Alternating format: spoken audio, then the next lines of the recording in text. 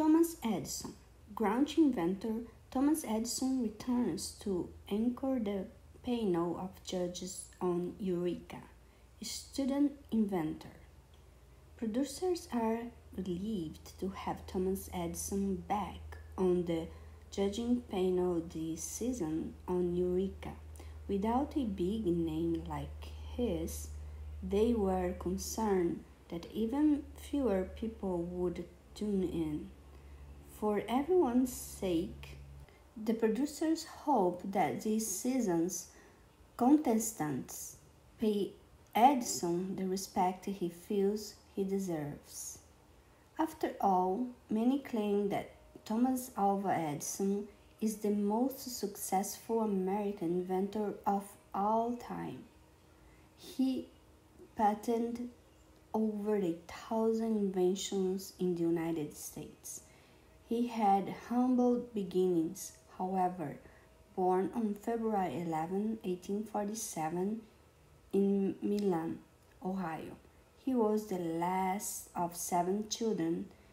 His family was poor and his education consisted mainly of being homeschooled and reading his father's books. He got his first job when he was 12 years old, selling newspapers on the Grand Trunk Railroad. In his time off, he read in the public library and conducted chemistry experiments in the baggage cars. One of his experiments set the train on fire. But Edison wasn't deterred. Even then, he knew that you often have to figure out the wrong way to do something before you can find the right way.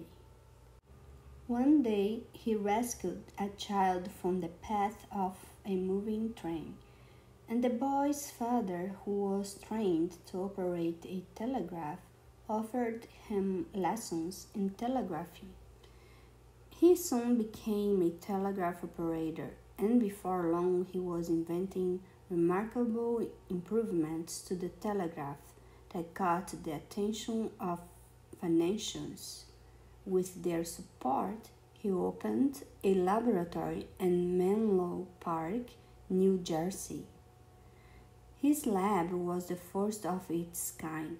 It was a busy place where experts collaborated working on multiple inventions at the same time.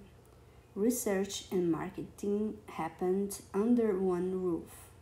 In this idea rich environment, Edison invented the phonograph, the first device for recording sound, and the incandescent light bulb, his most famous invention.